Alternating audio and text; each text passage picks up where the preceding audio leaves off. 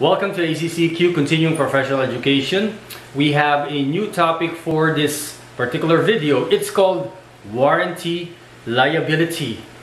Before we move forward dito sa ating um, sa ating topic, I'd like to make a shout out sa lahat ng uh, accountancy students, BSA Section A, Section B, and Section Section C.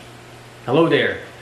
Now, ano ba itong warranty liability? Pag-usapan muna natin to, no?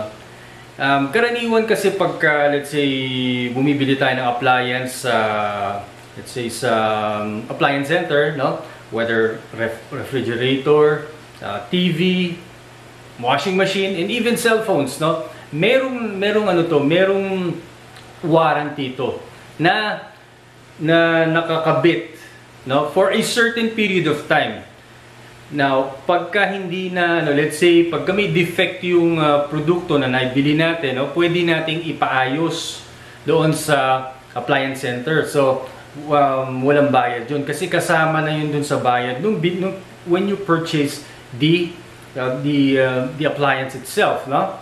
So, it says here, the recognition of uh, warranty provision, PAS number 37, paragraph 14, provides that a provision shall be recognized as a liability in the financial statements under the following conditions. So there are about three conditions, namely, the entity has a present obligation, legal or constructive, as a result of past event.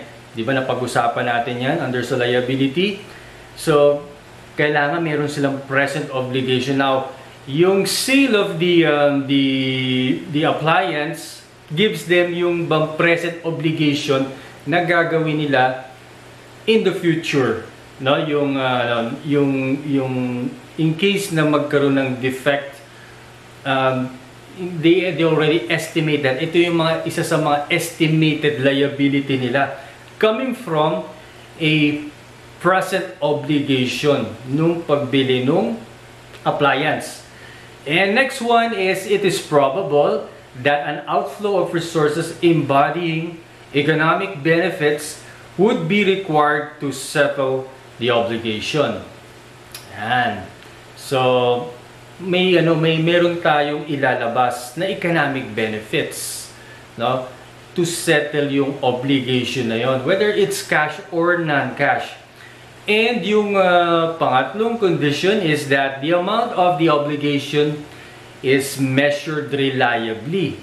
So, kailangan meron tayong estimate doon. So, in this uh, in this topic which is warranty liability, we can have yung ano na yon. We we have uh, those uh, three requirements are present, no? So, without much ado, we can proceed now doon sa board work, no? Okay, so here we go. So as we can see here, example number one, this is IACPA adopted or American Institute for Certified Accounting adopted. No? Milk company sells washing machines that carry a three-year warranty against manufacturer's defects. Based on the entity's experience, warranty costs are estimated at 300 pesos per machine. So we can now have yung yung estimate no 300 pesos raw yung yung uh, warranty cost per machine. So gagamitin natin mamaya yan, no? Pero ilan bang ano, ilan bang washing machine yung maaring isole para ipaayos? During the current year, the entity sold 2,400. Hmm. Washing machines and paid warranty cost of 170,000 pesos. So we will consider those amounts. So let's take up number one. What should be reported as warranty expense for the current year? So let's take this one first, no? solution. Number one. So warranty expense for the current year This one for number one is ilan ba yung ano, ilan ba yung naibenta. So this 2,400, no? Yung naibenta for the current year. So this is multiplied by 300 pesos, which is the warranty expense per machine. So just multiply that and get your calculators. That would be, okay, so that would be, just looking at it, no? That would be 720,000 pesos. 720,000 pesos.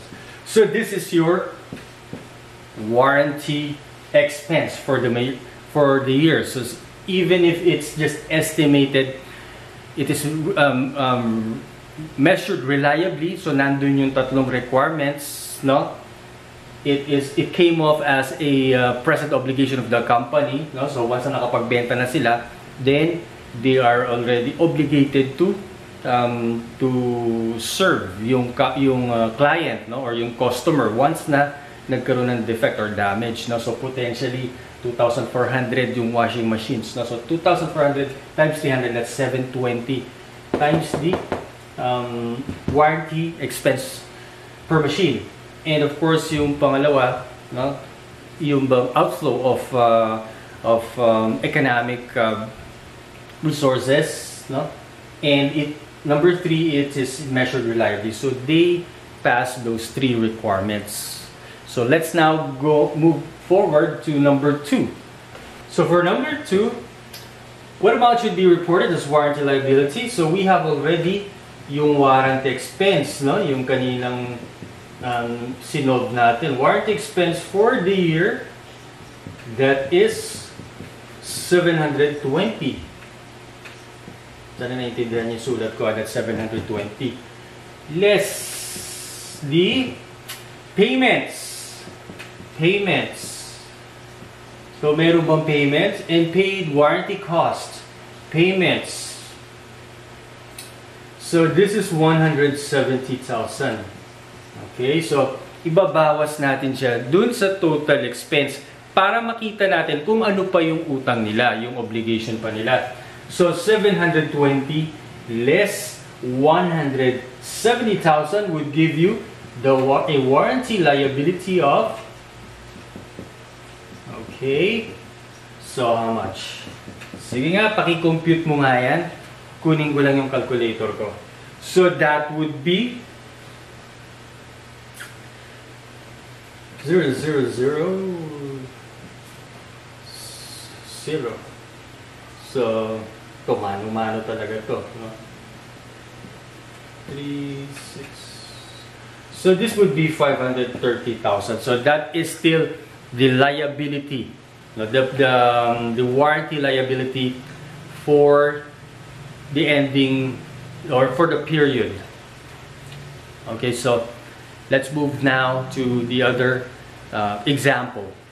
Okay, so now we're going to the second example. No? So, medyo mas uh, komplikado kaysa dun sa nauna yung example natin dito sa number 2 kasi It is 2 years. So, dalawang taon yung warranty niya. Ito yung period of warranty. So, let's take this up. Okay, so in 2019, Strategium Company began selling new line of products that carry a 2-year, sinabi ko na nga, warranty against defects. Based upon experience with other products, the entity estimated warranty cost as a percentage of sales. So kagaya nung nauna kanina, no? ganun rin yung percentage of sale. So first year of warranty, we have 2%, and second year of warranty, we have 5%. So let's take note of that. No? In 2019, there was a sale of 5 million. Tapos yung actual warranty cost niya is 100,000. Pagdating naman ng 2020, there, there is a sale of uh, 7 million and actual warranty cost of 300,000. Ibig sabihin, itong actual warranty cost, ito yung binayaran yung actual na binayad ng company dun sa mga uh, customers. Now, let's take up number one. What should be reported as warranty expense for 2019? So just like the same um, computation a while ago, yung, yung ginawa natin sa, sa unang example, no? Ngayon, ganun din yung i-apply natin. However, there is a slight uh, difference, no? So, the actual, so the warranty warranty expense for 2019. So here's the computation. So we have, since yung sale dun sa 2019 is 5 million, multiplied by 2 plus 5%, that's 7%. Okay, yung iba nagkakamali, 2% lang para dun sa sa 2019 but it's actually yung ano, i-combine natin yan or ito-total natin yung 2% saka 5% because yung yung first year ng sale which is 2019 hindi lang naman sa unang taon siya ano mag magki-claim yung warranty or or merong mga customers na mag-avail ng warranty but it's a second year and so total nung warranty or percentage ng warranty so this would be sige nga pa i-compute 5 million times 7%, that would be 350,000. Okay, you can check it out. The next one, so dito naman sa pangalawa, kinukuha natin, kukunin naman natin yung warranty liability. So ibig sabihin, ito yung mga ba, yung babayaran pa as of December 31, 2019. Kasi hindi ka naman nagkakaroon ng liability pag kung bayad na. So yung babayaran mo pa. So ganito lang yung pag-compute yan. The same as we have did um, yung first example. No? So, so this is the um, the warranty expense which we have computed a while ago. Warranty expense, okay, for 2019. This this is uh, 350,000, and what we have paid. So less actual warranty costs. Actual warranty costs of 100,000. So, meron pang liability na 250,000 as of December 31. Warranty liability December 31, 2019. And then the next one, what amount should be reported as warranty expense? So, ganun rin, no?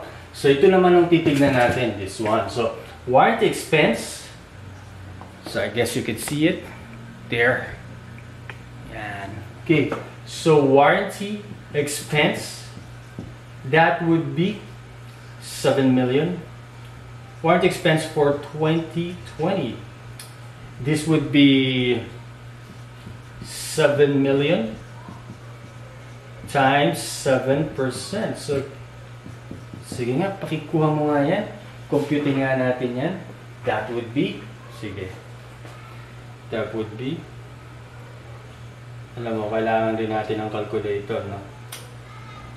Para makasigurado. So, 7 million, especially pagka ngayong mga big amounts na. So, times 0.07, that would be 490,000. There. So, this is the warranty expense for 2019. Now, the last number for this uh, particular example, number 4, what amount should be reported as warranty liability on December 31, 2020?